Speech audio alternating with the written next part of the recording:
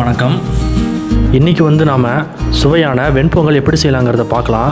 அதுக்கு நான் வந்து ஒரு கப் பச்சரிசி எடுத்திருக்கேன். இப்போ இந்த பச்சரிசியை வேறொரு பாத்திரத்துக்கு மாற்றிக்கலாம்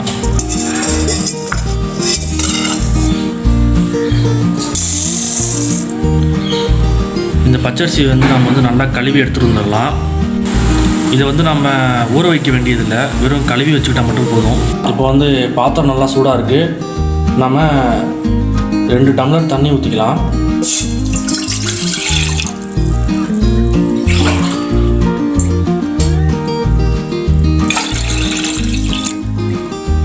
நம்ம வந்து இந்த பச்சரிசியை வந்து கழுவி வச்சுருக்கோம். அதை இப்போ இதில் சேர்த்துக்கலாம்.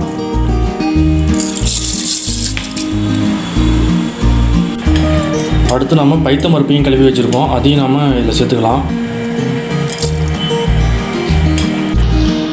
இப்போ தேவையான அளவு உப்பு சேர்த்துக்கலாம்.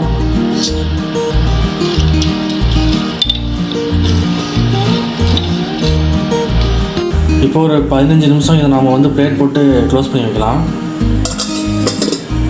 இப்போ பதினஞ்சு நிமிஷம் ஆயிடுச்சு இப்போ பொங்கல் ரெடி ஆயிடுச்சு நம்ம இப்போ கேஸ் ஆஃப் பண்ணிக்கலாம். இப்போ வந்து நம்ம பொங்கல் இறக்கி வச்சுட்டோம். இப்போ பொங்கலுக்கு வந்து நம்ம வந்து சில விஷயங்களை தாளிச்சு எடுக்கணும் அதை நம்ம வந்து இப்போ எடுக்கலாம். கடாய் நல்லா காஞ்சிருக்கு. இப்போ வந்து ஒரு ஸ்பூன் நெய் சேர்த்துக்கலாம்.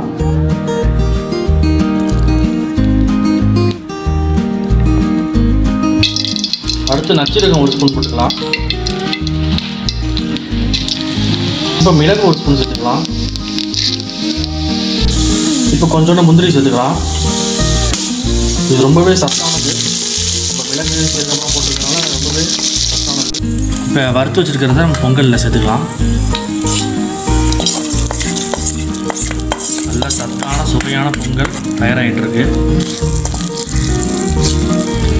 இதை நீங்கள் வீட்டில் செஞ்சு பார்த்துட்டு எப்படி இருக்குன்னு கீழே கமெண்ட் பாக்ஸில் சொல்லுங்கள் நாளைக்கு நம்ம வேறு ஒரு சூப்பரான சமையலோட அது சந்திக்கலாம். நன்றி.